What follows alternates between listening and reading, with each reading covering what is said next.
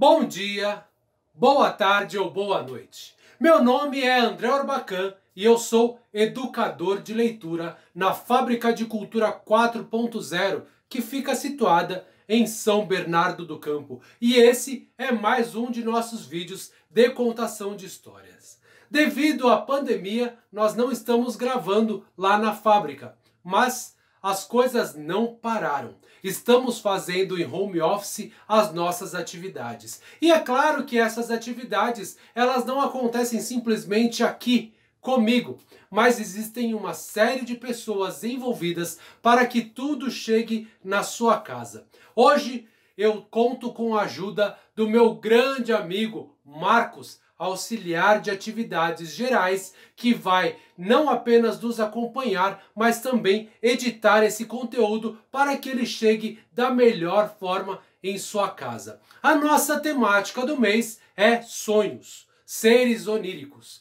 E hoje trago para vocês uma história sobre Ismar. Ismar, aquele sonhador, aquele que vai atrás dos seus sonhos e que, graças a uma palavra amiga, não desiste de tudo jamais. Vamos nessa?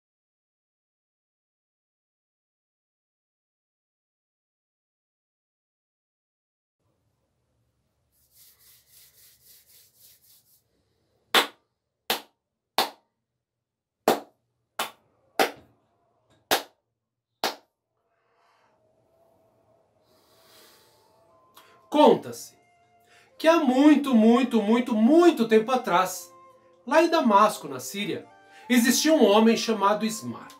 O Ismar era um homem pobre e tudo que possuía na vida era uma pequena casinha que tinha herdado de sua mãe. Era uma casa de pedra, toda caindo aos pedaços, com algumas telhas faltando.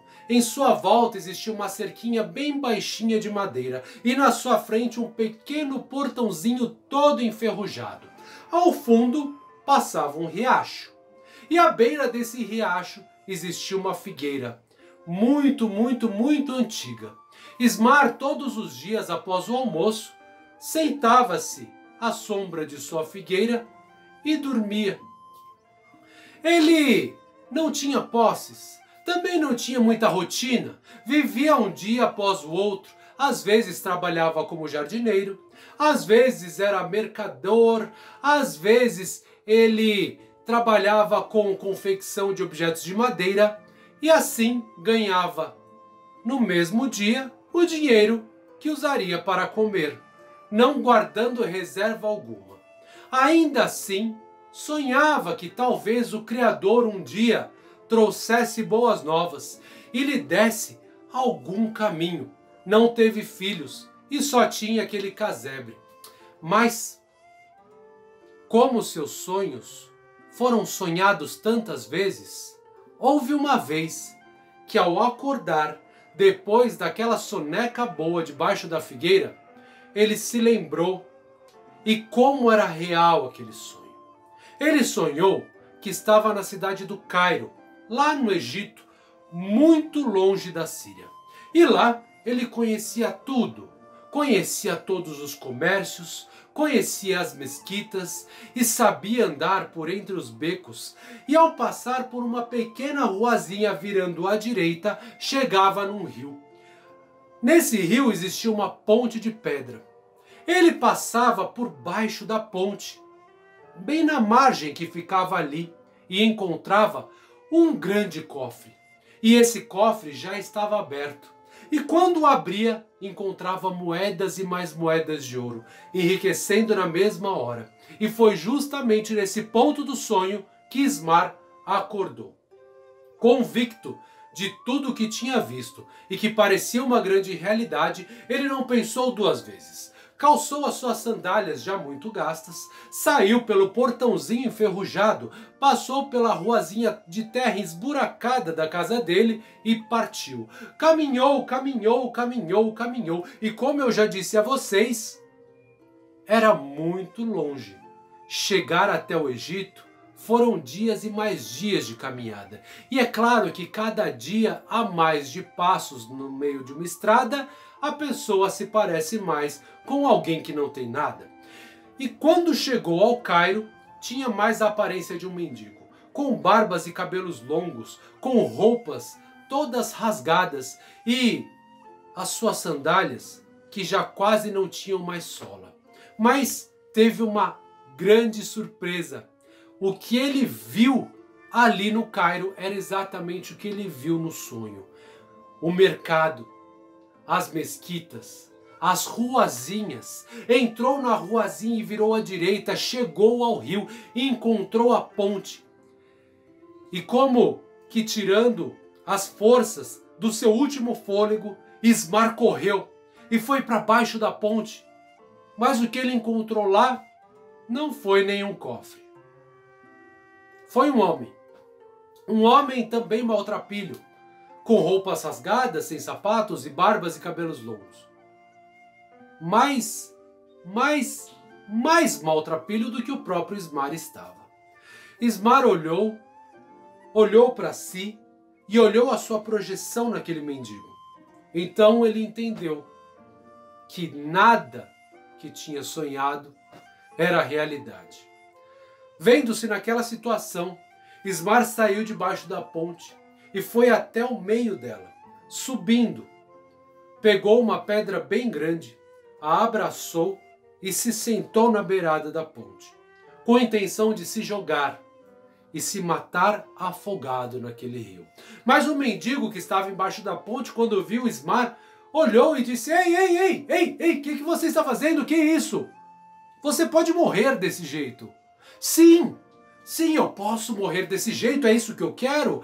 Acredite você ou não, eu deixei tudo para trás em busca de um sonho que não deu em nada.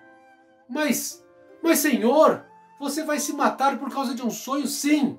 Então, por favor, faça, faça a última vontade.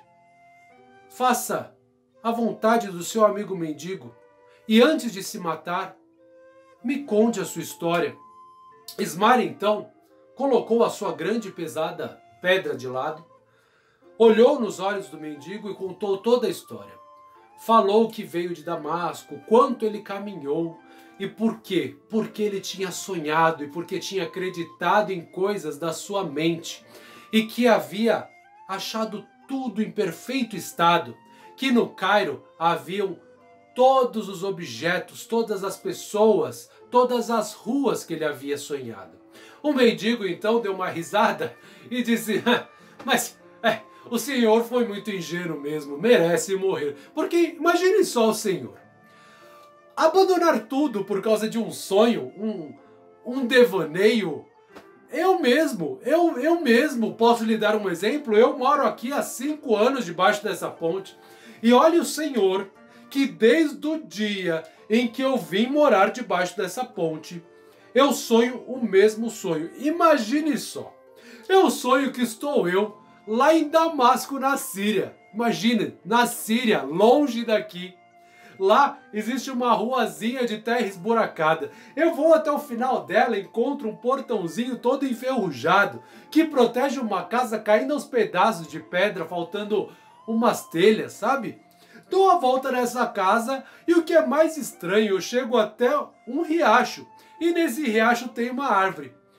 Uma árvore velha, uma árvore oca. Eu enfio a mão assim pela árvore e lá eu encontro o tesouro. Agora me fala, você acha que eu, que moro aqui no Egito, no Cairo, vou sair daqui para ir para Damasco para ver se existe um tesouro numa árvore velha lá na Síria? Ismar ouviu toda a história do mendigo e reconheceu o lugar. Então ele jogou a pedra no rio agradeceu. Meu bom amigo, muito obrigado. Você hoje salvou minha vida. E partiu. É claro que o caminho de volta foi muito mais doloroso sem sandálias e foi muito mais doloroso porque ele já estava cansado. Mas depois de muito tempo chegou em sua casa, que estava como sempre estava, caindo aos pedaços. Foi até a árvore, encontrou o tal buraco, enfiou a sua mão e retirou de lá um saco cheios, cheio, cheio de moedas de ouro. Depois disso, Ismar enriqueceu. Cuidou de sua casa, do seu portãozinho, do seu riacho, dos seus vizinhos, da sua rua. Tudo isso graças a um sonho. Mas precisou de incentivo. Porque aquele que sonha realiza.